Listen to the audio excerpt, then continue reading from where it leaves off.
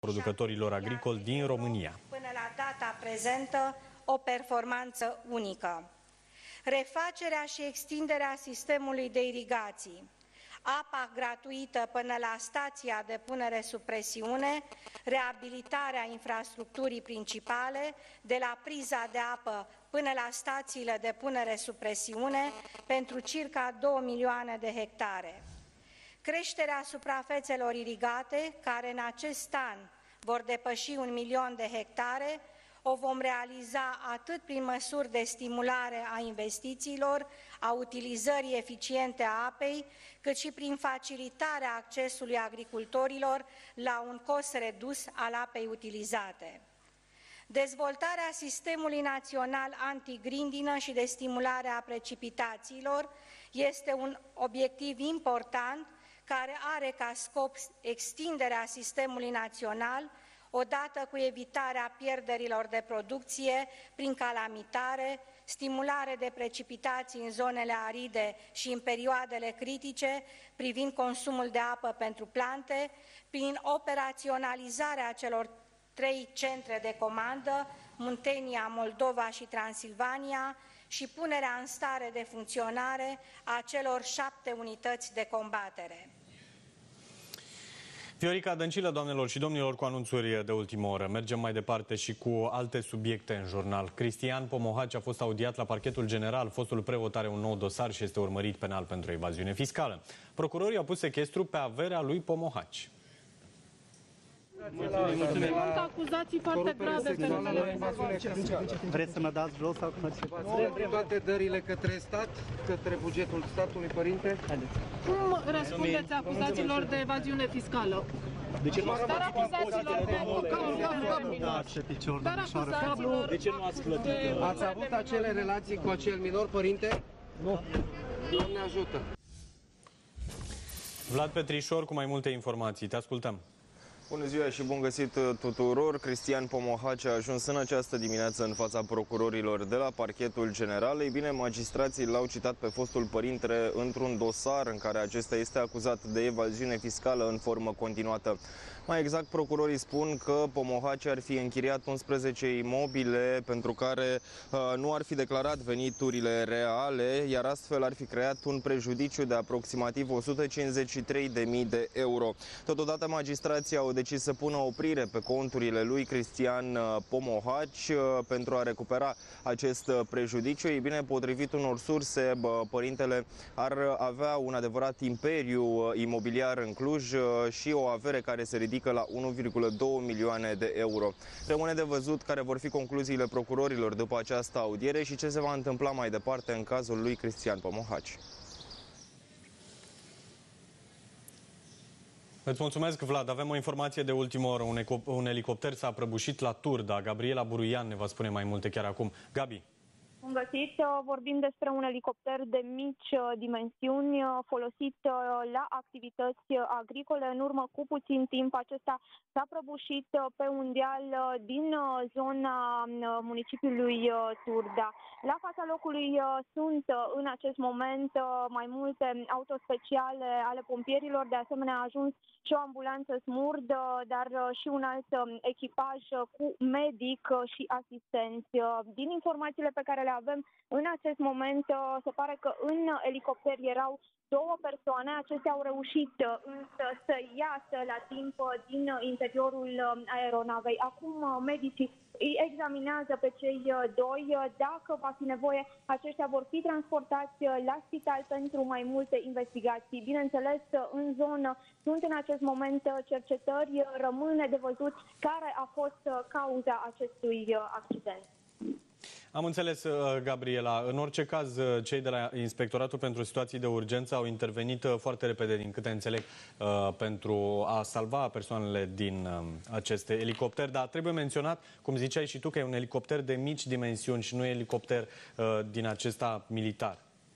Așa este, vorbim despre un elicopter care e folosit la muncile agricole. Cel mai probabil era acolo în uh, zonă pentru um, a interveni, pentru um, a uda acele uh, culturi agricole sau pentru alte um, feluri. Vedem uh, acum, scuză-mă Gabi, vedem acum chiar primele imagini, este o fotografie de la accidentului, deci elicopterul a căzut, nu este explodat, uh, nu s-a întâmplat ceva catastrofal, însă uh, niște persoane au avut uh, de suferit la Turda. Te rog, Gabi. Așa este, într-adevăr, au reușit cei doi ocupanți să iasă din acel elicopter la timp, pentru că și asta este important, întotdeauna în astfel de accidente pot exista și alte probleme, se poate, nu se știe niciodată, oricând o astfel de Um, uh, un astfel de elicopter poate să explodeze, așadar acele persoane au putut să iasă la timp, acolo au intervenit într-adevăr cei de la ISU Cluj, sunt în acel moment în acest moment acolo și le acordă toate îngrijirile medicale necesare și de asemenea asigură zona. Uh, mulțumesc, Gabi. În direct cu noi domnul Andrei Biriș de la Inspectoratul pentru Situații de Urgență Cluj. Uh, bună ziua! Ce s-a întâmplat? Cum i-ați găsit pe pasageri? Bună ziua! Este vorba despre un apel pe numărul unic de urgență 112, care a fost primit de către dispeceratul ISU Cluj, în care s-a anunțat că un elicopter de mici dimensiuni, utilizat la activități agricole, s-a prăbușit în zona unui deal de pe raza municipiului Turda. Am intervenit cu autospecială complexă de stingere cu modul de scarcerare și prim ajutor, o ambulanță smurt pentru victime multiple, precum și un echipaj au fost deplasate la locul evenimentului. În urma verificărilor, în elicopter se aflau două persoane, piloții, care au ieșit din interiorul aeronavei și nu prezintă probleme medicale. Cei doi ocupanți sunt evaluați de către echipajele medicale, iar dacă, această, dacă situația va impune, vor fi transportați la spital. Mulțumesc uh, pentru informații. Vom reveni și în uh, orele următoare dacă apar lucruri noi în legătură cu acest elicopter care s-a prăbușit și vedeți și dumneavoastră exact locația. E vorba de zona Turda. Uh, pe un câmp. Un elicopter care efectua munci agricole. Asta înseamnă că stropea uh, zona respectivă. Mergem mai departe. Continuă veștile proaste pentru românii cu credite în lei. Indicele Eurobor la 3 luni a crescut din nou, atingând pragul istoric de 2,77. Raluca Curteanu cu informații. Raluca. Într-adevăr, Bogdan, vedem că indicele robor la 3 luni continuă să crească, a ajuns astăzi la un nou maxim 2,77%. Vă reamintesc că luni era la valoarea de 2,74%, marți a mai crescut puțin, ajungând la 2,75%, iar astăzi atinge maximul ultimilor 3 ani și 7 luni. Mai precis, este cea mai ridicată valoare din octombrie 2014, când robor a fost cotat tot la 2,77%. Vă reamintesc că este important acest Uh, indice robor la 3 luni, pentru că este indicatorul uh, principal în funcție de care se calculează dobânzile variabile la creditele în lei, însă robor la 6 luni uh, rămâne și el la un nivel maxim de 2,89%, însă cel puțin acesta stagnează astăzi. Mulțumesc pentru informații, Raluca. Detalii teribile la iveală după accidentul din Ungaria, în care 9 români și-au pierdut viața. Bărbații lucrau ca muncitori sezonieri în Slovenia, la negru. În plus, microbuzul circula în ilegalitate. În total, 35 de copii au rămas orfani după cumplitul accident, iar printre victime se numără o femeie însărcinată și soțul ei. Detalii de la Mircea Sime, în direct. Mircea. Bun găsit! Tragedia din Ungaria a lăsat uh, orfani 35 de copii. Bărbații morți în accident aveau familii numeroase acasă în județul Mureș. Plecaseră la muncă în Slovenia ca să le asigure familiilor un trai mai bun. Acum se vor întoarce acasă pentru totdeauna. Victimele ar fi originare din două sate din județul Mureș, Deaj și Agrișteu. Pe șofer îl așteptau doi copii acasă. Alți doi pasageri erau părinți a cinci, respectiv șapte copii copii. O depășire ratată ar fi cauzat accidentul, iar potrivit unor imagini care circulă pe internet, șoferul făcea live pe Facebook în momentul impactului. Martor la tragicul accident a fost un alt șofer român care se afla exact în spatele microbuzului și a încercat să le acorde sprijin victimelor și a alertat autoritățile. Se pare că șoferul și-a înființat firma de transport în urmă cu patru ani și făcea aceste curse regulat. Ministerul Afacerilor Externe anunță că va suporta costurile legate de uh, repatrierea trupurilor neînsuflețite a celor nouă români.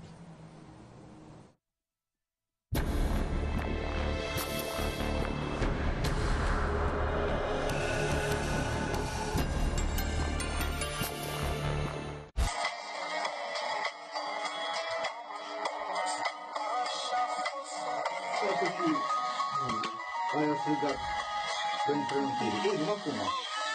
Gata! Accidentul s-a produs la 60 de kilometri de Budapesta. În microbus se aflau 9 români care se întorceau acasă din Slovenia. Ultimele clipe de dinainte de Carnagiu au fost surprinse chiar de șoferul microbuzului. Bărbatul făcea live pe Facebook chiar în timp ce conducea. Mai mult, acesta avea viteză foarte mare. Eu cred că s-a uitat la comentarii astea Goldea și yeah. Cred că o citit și când s-a uitat deja eram foarte mult. Ia și-a dus Miu acasă.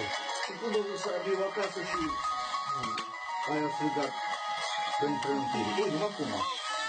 Gata. Imaginile surprinse de un martor imediat după accident sunt terifiante. Traficul a fost oprit în zonă, iar la fața locului au intervenit pompierii și medicii. Toți cei nouă români au murit în accident. Se pare că aceștia erau dintr-o comună din județul Mureș.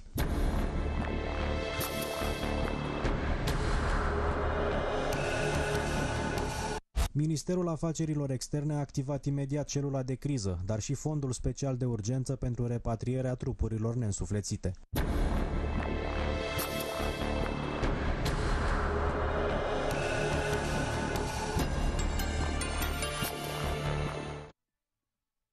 Pericol de explozie în Prahova. Un buldo excavator a avariat o țeavă de gaze, iar patru locuințe au fost evacuate. Pompierii acționează acum la fața locului, iar Marian Jinga ne va spune mai mult. Marian.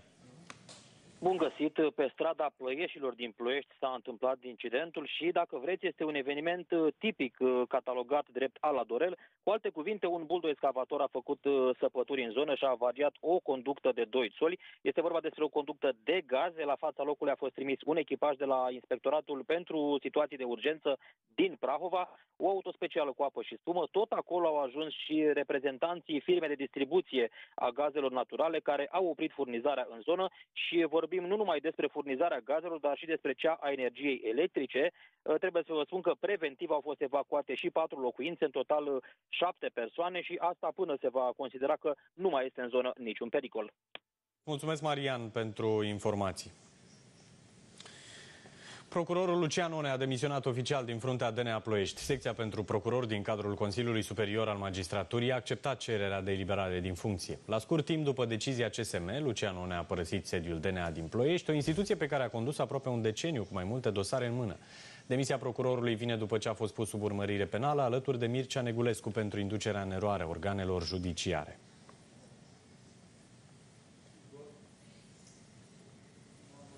Este bomba anului. Șefa DNA ar fi fost denunțată la parchetul general de procurorul Mircea Negulescu. Potrivit surselor citate de Q Magazine, procurorul Portocal ar fi scris 50 de pagini, citez, devastatoare despre Laura Codruța Chioveși.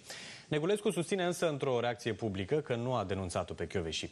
Mergem la colega mea, Laura Duță, pentru mai multe informații și va fi în direct cu noi și directorul Q Magazine, uh, Floriana Jucan, imediat.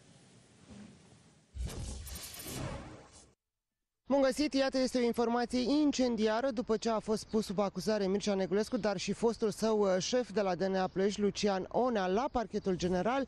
Mircea Negulescu s-a gândit totuși să o denunțe pe Laura Codruța și a făcut o plângere de 50 uh, de pagini în care a susținut că și a fost cea care le-a dat comanda să fabrice, să falsifice probe din dosarele de la DNA Ploiești. Informațiile sunt într-adevăr devastatoare și sunt uh, făcute publice uh, pe surse de de către publicația Q Magazine. Oficial nu avem nici uh, un fel de informație că Mircea Negulescu a făcut această plângere. Ar trebui luată în vedere totuși faptul că la parchetul general s-au făcut nenumărate plângeri penale împotriva Laurei Codruța și care nu s-au soldat cu absolut nimic, însă procurarea care a avut curajul să-i pune sub acuzare pe procurorii de la DNA Ploiești ar putea totuși să ia în seamă un denunț făcut de către Mircea Negulescu, însă iată că acest procuror care a fost deja exclus din magistratură a avut uh, o reacție publică în care susține că nu a făcut plângere împotriva Laurei Codruța Chioveji și nici împotriva unui uh, procuror din conducerea DNA și că aceasta este o știre falsă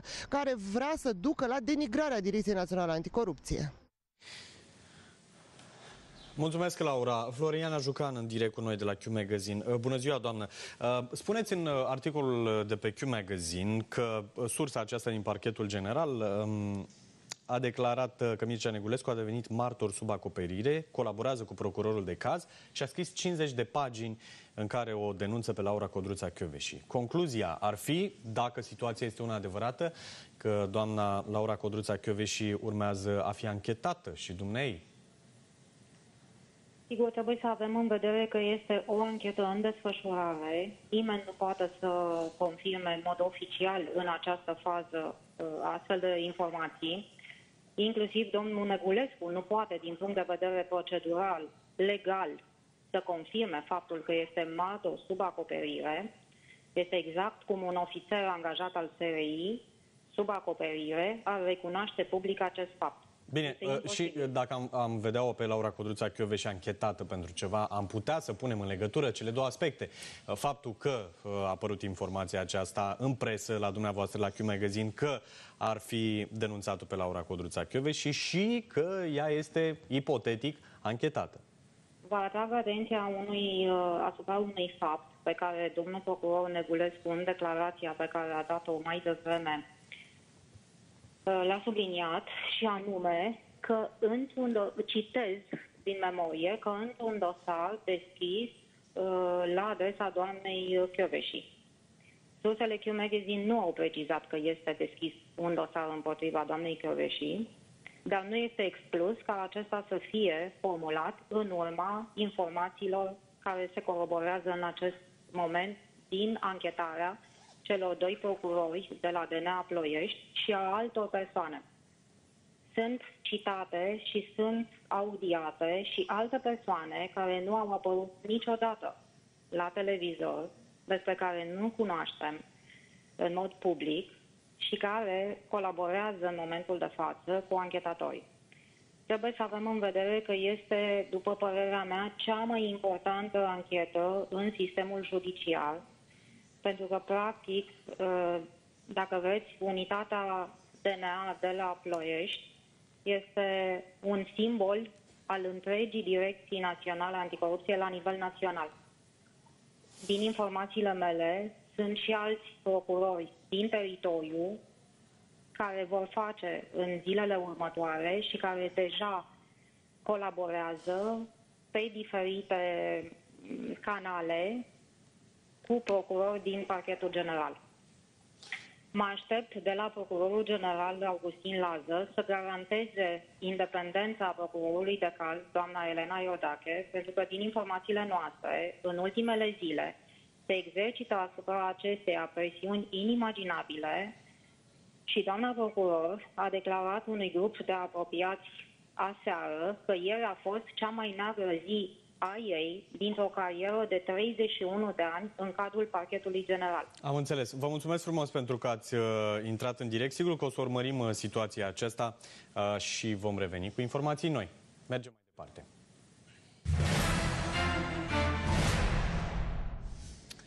Se comemorează jumătate de an de la moartea Stelei Popescu. Colegii de scenă, dar mai ales prietenul uh, de viață, Alexandru Arșinel, este încă devastat de durere alături de ceilalți. Colega mea, Ștefania Băcanu, este alături de el în cabina de la teatrul în care a activat mare actriță. Ștefania.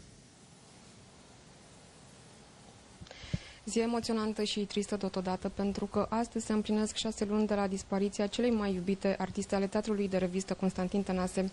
Ne aflăm chiar în cabina acesteia, pe care Stella Popescu o împărțea cu buna sa prietenă Cristina Stamate, decedată și ea, din păcate, la doar câteva zile după. Uh, Stella Popescu are în continuare colțișorul ei uh, în cabină, neatins de nimeni, unde arde în permanență o candelă și unde se află și tabloul cu fotografia acesteia, care parcă veghează asupra teatrului de revistă Constantin Tănase, pe care aceasta l-a slujit cu atâta dragoste.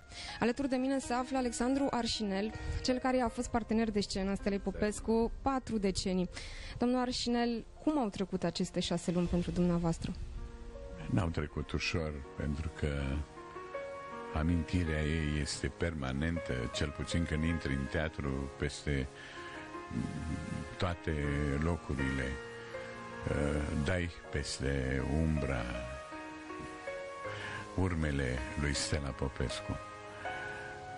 Au trecut greu, dar uh, am încercat să ne montăm, să ne mobilizăm, să ne mobilăm în continuare, pentru că genul trebuie să continue și mai ales să fim în formă vis-a-vis -vis de efortul și de menirea noastră de a apărea cât mai,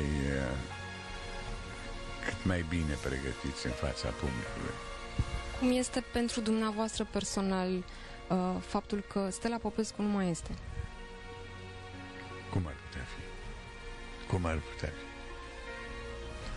Sigur că e trist, este greu, trebuie să uh, remontez un agregat care uh, funcționa la cote maxime și încercăm într-o oarecare măsură să trecem peste acest moment dramatic.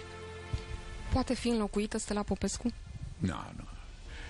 Nu, sunt uh, personalități, persoane pe lumea asta care nu pot fi înlocuite niciodată.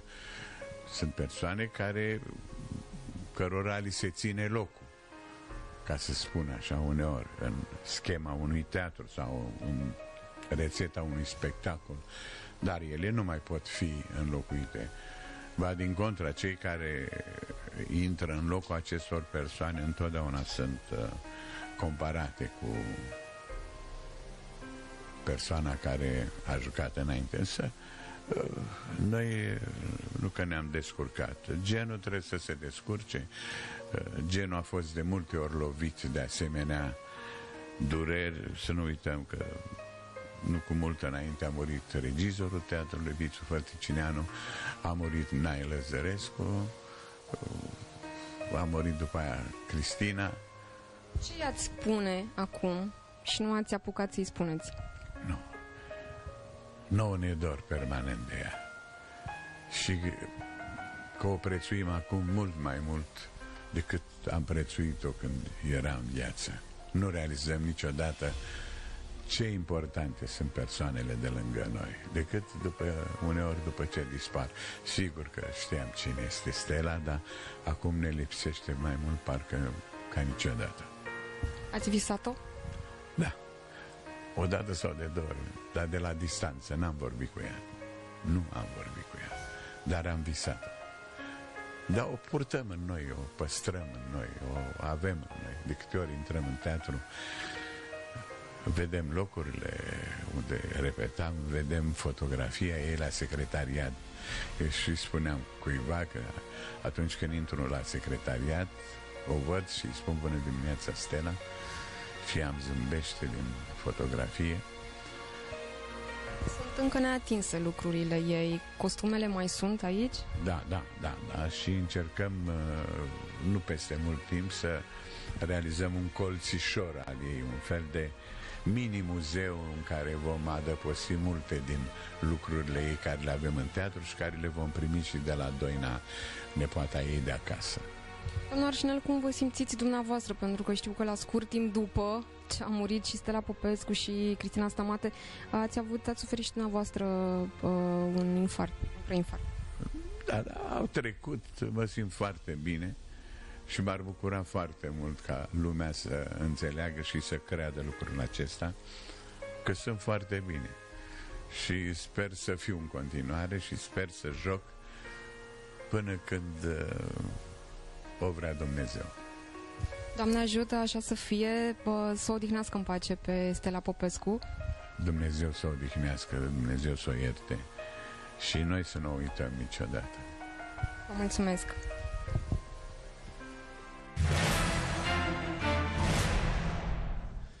Avem acum un anunț oficial al Guvernului despre pilonul 2 de la pensii. Vicepremierul Paul Stănescu explică de ce se face analiza pentru pensiile private obligatorii și ce măsuri are Guvernul în plan cu banii românilor. Eu aș vrea să știu dacă la pilonul 2 de pensii pensia mea va fi mai mare sau mai mică. Să-mi explice guvernul și probabil că doamna Olguța Vasilescu în următoarea perioadă de timp va ieși ca să explice aceste lucruri, ca să știu dacă sunt la pilonul 2 de pensie, am o pensie mai mare sau mai mică. Să știu lucrul ăsta. Și, și, dar de ce avem această și discuție repet, acum? trebuie să fie opțional acest lucru. Până am auzit pe nimeni și nicio discuție, nicio, nicio discuție în Partidul Social Democrat, cel puțin, nu știu, în uh, coaliție, nu a fost despre desfințarea pilonului 2 de pensii. De la o comunicare nefericită de la Comisia de Prognoză, de aici a plecat tot. Decizia nu o ia Partidul Social Democrat singur, în coaliție cu ALDE, suntem în coaliție, sigur că vom discuta cu ei. Mergem mai departe acum, doamnelor și domnilor, cu altă informație de ultimă oră. Mai mulți muncitori au căzut într-o stație de epurare în Brăila, iar doi dintre aceștia au murit. Teodora Miron cu informații în direct. Teodora. Bun găsit, într-adevăr, vorbim de un tragic accident la o stație de epurare din orașul Însureței, județul Brăila. Cinci muncitori au căzut în stația de epurare, iar doi dintre aceștia și-au pierdut viața. Ceilalți sunt în stare gravă și au fost transportați de urgență la spital. Din primele informații, se pare că unul dintre muncitori a scăpat o pompă, iar ceilalți colegi au încercat să îl ajute.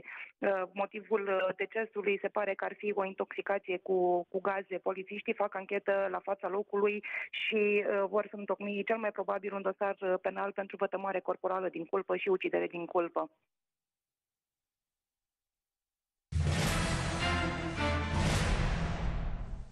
Mergem cu alte informații mai departe. Cristian Pomohaci are de dat explicații și în scandalul înregistrărilor care i-au dus excluderea din biserică.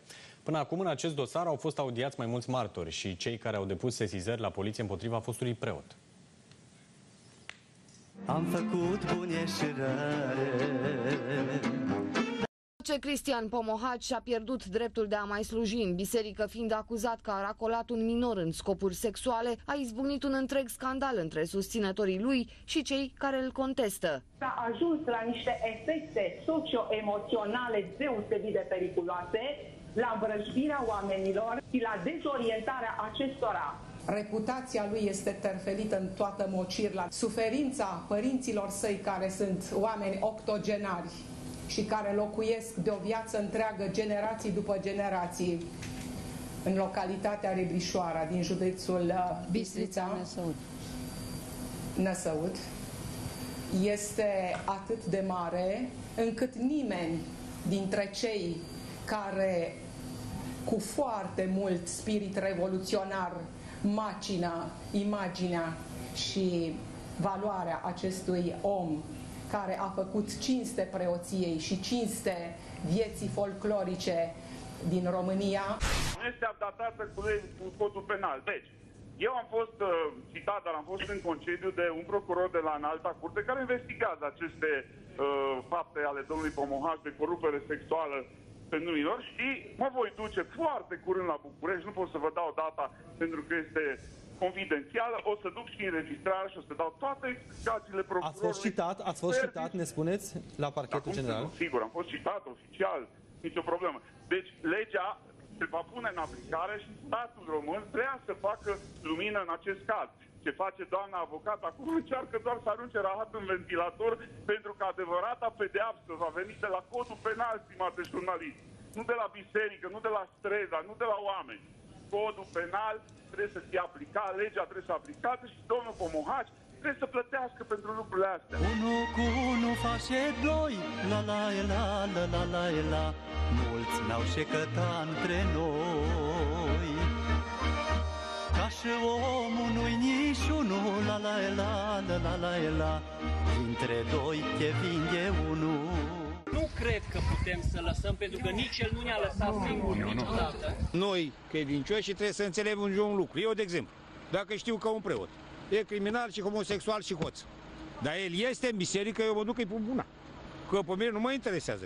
Că harul lui Dumnezeu nu din mâna lui care e primită de la apostol, prin înalt, prin Hristos, apostol și în ierarhi și la preoți, nu se amestecă Harul lui Dumnezeu cu păcatul lui. Numai că el nu are voie să pună mâna niciodată să murdărească Sfintele Taine în altar și pe Hristos. Într-adevăr, îl cunosc pe Părintele Cristian Pomohaci din anul uh, hirotonirii sale. Am fost și mă consider în continuare o apropiată a dumnealui, a familiei dumnealui, și sunt unul dintre oamenii care am decis să îi acord prezumția de nevinovăție, așa cum ar fi trebuit să se întâmple într-o anumită parte a mass mediei de la început. Eu știu că părintele Cristian Pomohaci a luat două biserici jigărite în custodie și a făcut două bijuterii din ele. Rămâneți cu noi pentru că avem informații de ultimă oră despre accidentul din Ungaria. Directorul RAR va fi în studio și va prezenta date oficiale. Vom discuta atunci, doamnelor și domnilor, și despre modificările cruciale pentru șoferi, pentru că sunt uh, uh, schimbări intrate în vigoare și discutăm pe larg despre ele. Rămâneți!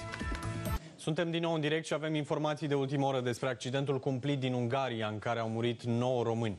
Sunt date oficiale despre microbuzul care le-a adus moartea acestor oameni. Iar acum îl avem alături de noi pe directorul Registrului Auto Român, inginerul George Adrian Dincă. Bună ziua, bine ați Bună venit. ziua. Spuneți-ne dacă mașina avea toate actele în regulă, dacă era autorizată, făcea totuși și transport uh, de persoane. Din datele pe care le avem noi, uh, autoturismul uh, avea 8 plus 1 locuri, eh, era încadrat în categoria autoturism, deci s-a prezentat la Armureș eh, pe 31 mai 2017, avea inspecția tehnică valabilă, era eh, din 1996 ani de fabricație, la vremea când s-a prezentat la Registrul Autoromân avea 583.000 778 de kilometri. Din punct de vedere tehnic, la prima vedere, sigur, se va face o expertiză la momentul oportun de către autoritățile ungare. Nu exista vreo problemă a legalității uh, acelui, uh, a, acelei uh, mașini. Uh, Din... Adică ea avea făcută inspecția tehnică, uh, era tot în regulă. Sigur, sigur. Avea asigurare tot. Asigurare nu știm dacă avea, dar știm de inspecția tehnică că era în termen.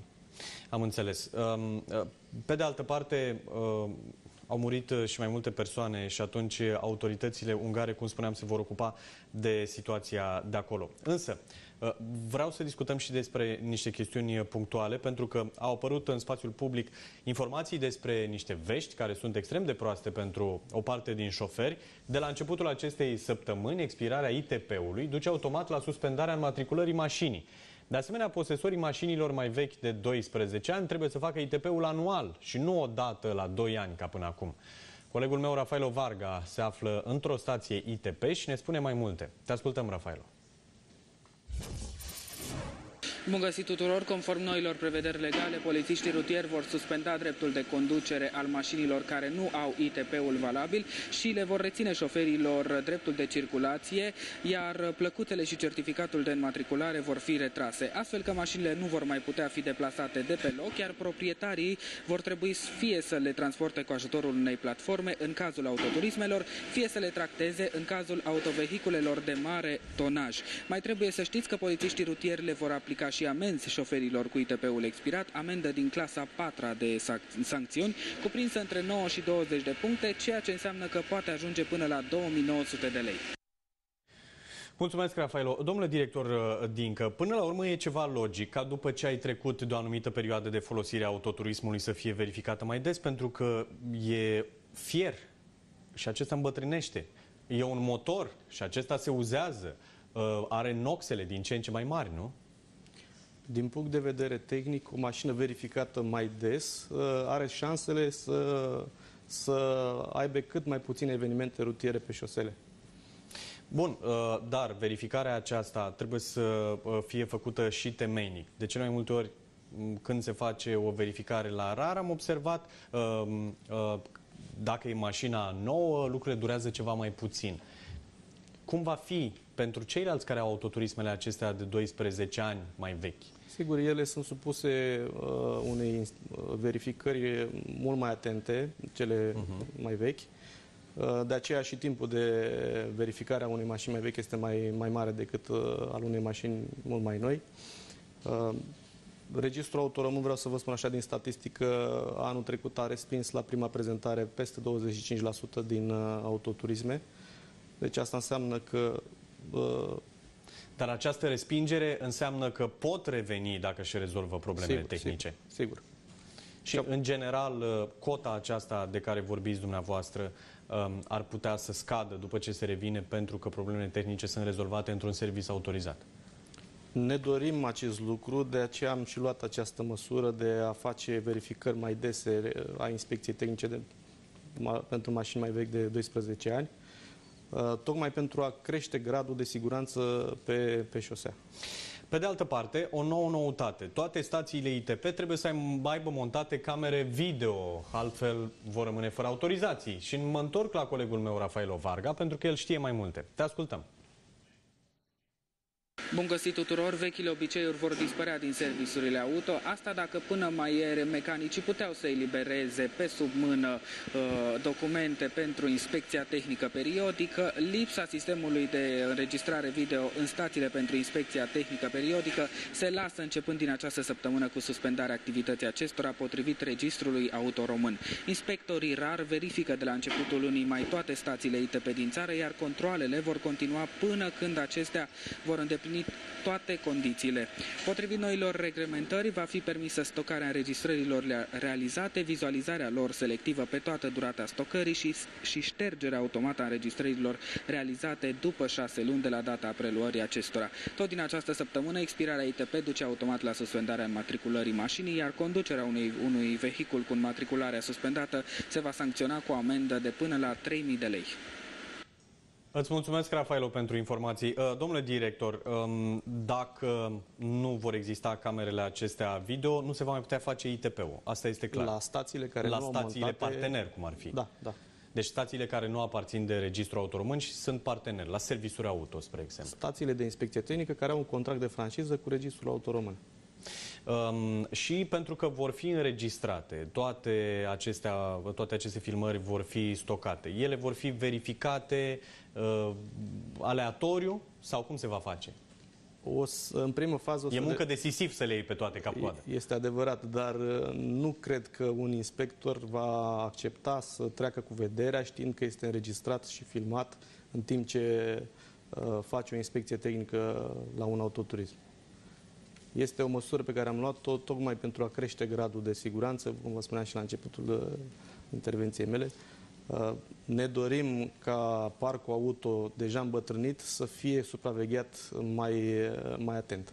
Și pentru că ați pomenit de evoluția parcului auto din România, foarte îmbătrânit, oamenii nu-și permit să-și cumpere o mașină nouă. Un parc îmbătrânit înseamnă și multe probleme înseamnă probleme în trafic și de multe ori am văzut mașini ale Registrului Auto Român în uh, alveole, în, în parcări, pe drumuri naționale, care opresc participanți la trafic.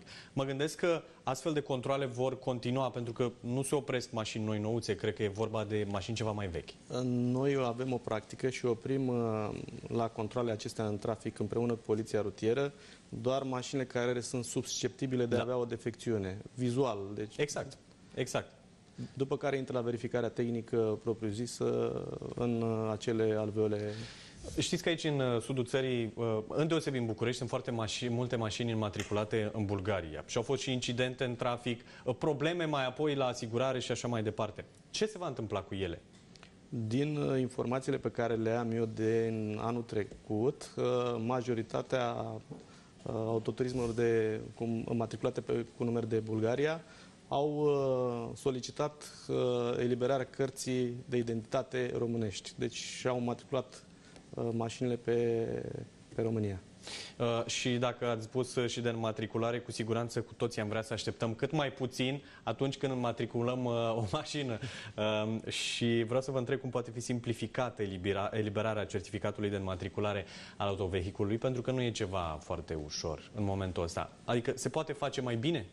Se poate face mai bine, dar este o activitate care nu este a Ministerului Transportului și a, implicit a Registrului Autoromân. Ține de alt minister și altă instituție. Dar, uh, pentru că vorbim de autoturisme, în trafic e important că la noi în partea asta noastră de Europa se circulă pe partea dreaptă, uh, să ai volanul pe stânga.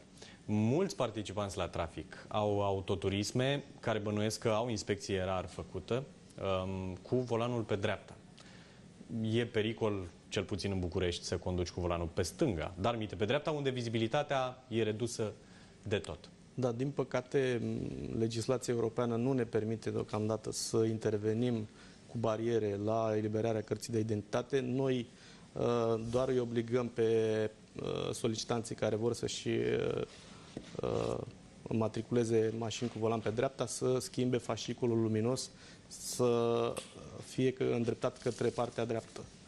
Dar asta s-a întâmplat și sunt foarte multe mașini cu volan pe dreapta în țară și pentru că erau prețurile ceva mai mici, ele fiind aduse îndeoseb din Marea Britanie la niște prețuri derizorii, uh, erau uh, foarte ușor uh, de cumpărat și cu această ocazie uh, am vrea să avem și parte și de siguranță în trafic. Ok, sunt aduse de acolo. Dumneavoastră spuneți că poate fi mutat fascicolul luminos pe partea cealaltă, dar până nu mergi la un serviciu autorizat, nu la unul de cartier, unde nu primești nici măcar un bon fiscal pentru lucrare, n-ai de unde să știi dacă e treaba făcută corect. E adevărat, noi verificăm foarte atent uh, aceste lucruri și vreau să vă spun că la un moment dat, uh, din informațiile pe care le mai am și eu din, Da. uh, din piață, să spun așa, uh, costă mai mult să schimb farurile decât mașina.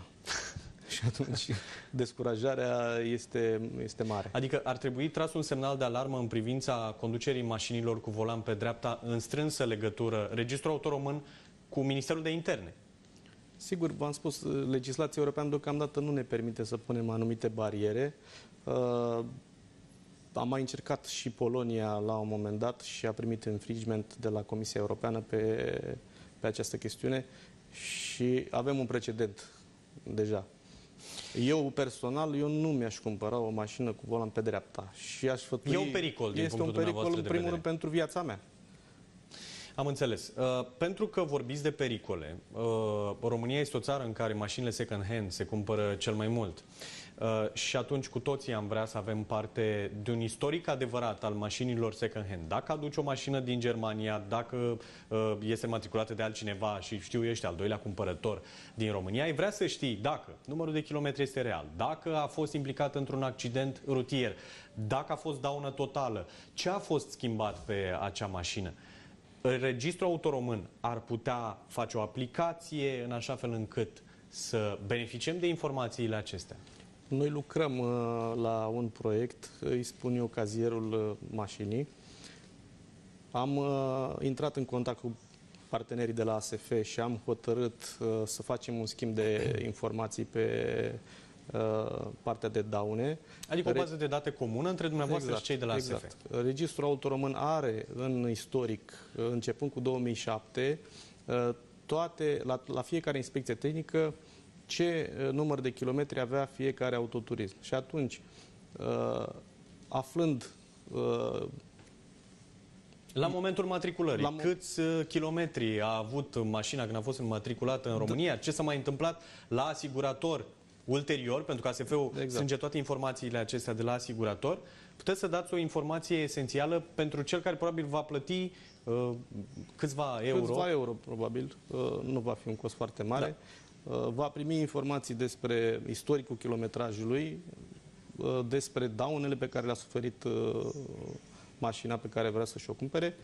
Uh, Poate afla uh, reparații mai grave la care a fost supus uh, uh, autoturismul, multe informații pe care ar trebui să le știe un cumpărător când uh, vrea să-și uh, achiziționeze o mașină bună. Toată lumea vrea să-și cumpere o mașină bună. Uh, mai este și o chestiune b- care s-a perpetuat în ultima perioadă pentru că am auzit uh, la modul real cauz, uh, situații de acestea. Um, mașini care au fost lovite foarte ușor, trecute la daună totală, vândute evident uh, după aceea. Unul și-a recuperat pe casco uh, o valoare mai mică, mai mare, cu- cum uh, au considerat asiguratorul, dar uh, până la urmă aceea a fost o daună totală, aceea n-a fost o daună totală, adică vrem să aflăm istoricul real al mașinii, nu? Sunt două tipuri de daună. Daună totală tehnică, Da. unde noi nu suntem de acord ca acea mașină să mai intre pe șoselele României. Când e făcută praf. Că este făcută praf, cum spuneți noastră, și dauna totală economică, pe care asiguratorul Nu uh, mai poate acoperi. Nu mai poate acoperi. Uh, Sunt șanse ca acea mașină să poată fi reparată dacă uh, proprietarul suportă diferența reparației. Mhm. Iar la aceste tipuri de daune uh, economice, noi nu uh, impunem uh, decât uh, niște cerințe tehnice pe care le impunem tuturor uh, mașinilor. Pentru că spuneați de reparații, știu că RARul face și niște controle, DSP se numesc ele, uh, Departamentul Supraveghere de Piață, nu? Acest departament e la dumneavoastră da. la RAR. Dumneavoastră supravegheați piața asta a pieselor auto, faceți niște controle, vedeți dacă ele sunt conforme sau nu. Cum reies datele după ce ați găsit, după piese originale, după piese aftermarket? Am avut pe parcursul anului 2017 foarte multe controle, cred că în jur de 7000 de, de controle de acest gen. Sunt 10.000 de operatori autorizați. Am găsit uh, nereguli și s-au aplicat foarte multe amenzi, s-au uh, închis și unele societăți care nu mai îndeplineau condițiile inițiale de autorizare. Uh, Suntem prezenți în piață, în continuare și în acest an, facem verificări uh, la sânge, nu acceptăm uh, uh, abateri de la Da. uh, autorizarea inițială.